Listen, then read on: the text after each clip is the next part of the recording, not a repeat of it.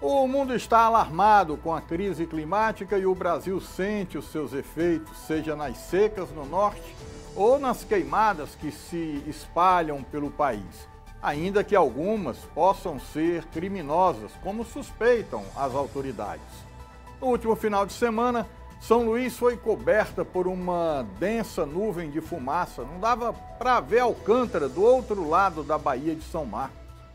A agenda crucial, a agenda ambiental é crucial, mas tem pouco apelo eleitoral. No Congresso, a bancada ambientalista é menor que a das empreiteiras, da bala ou dos evangélicos.